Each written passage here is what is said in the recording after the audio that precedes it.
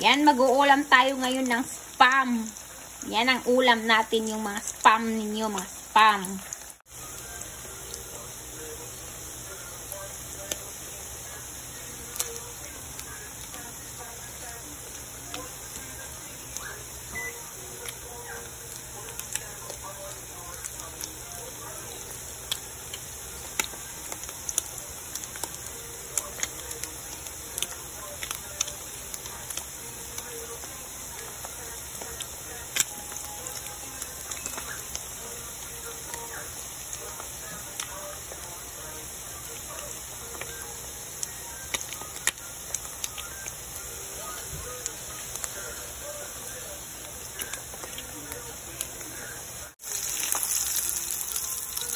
Po ay Vienna sausage.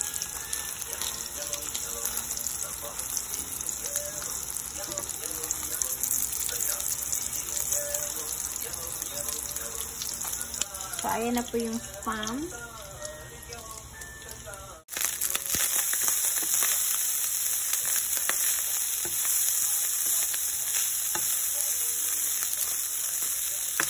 Yan, fried rice.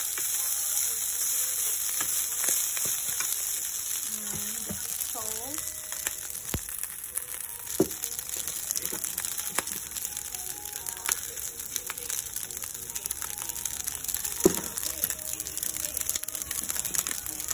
Lagyan na ng salt, garlic powder.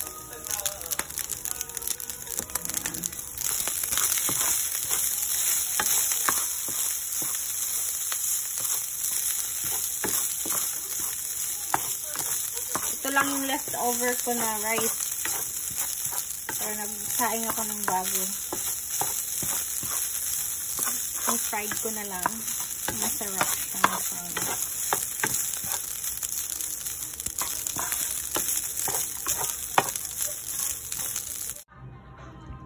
Yan na, kakain na tayo. Yan.